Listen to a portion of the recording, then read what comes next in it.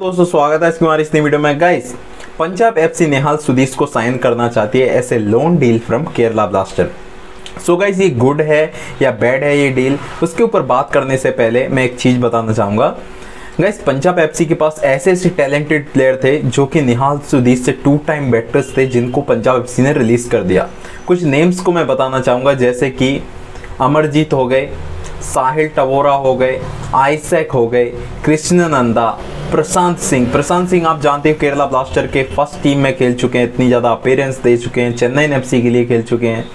So so guys in सारे players को release करके आप एक लोन डील पर जा रहे हो, वो भी ऐसे प्लेयर की जो जिसने इतना इतना ज़्यादा एक्सपीरियंस नहीं है उसके पास खेलने के लिए आईएसएल में, सिर्फ़ केरला ब्लास्टर की फ़र्स्ट टीम के लिए उन्होंने 90 में 19 मैचेस खेले हैं, वो भी ऐसे सेंटर फॉरवर्ड और राइट विंग सो उन्होंने सिर्फ़ एक ही गोल मारा है और आप ऐसे बंदे की तरफ़ जा रहे हो जो कि इतना एक्सपीरियंसड नहीं है और आपको अभी ड्यूरेंट कप खेलना है आईएसएल खेलना है हीरो सुपर कप खेलना है। सो इस, ये डील इतनी भी बैड नहीं है।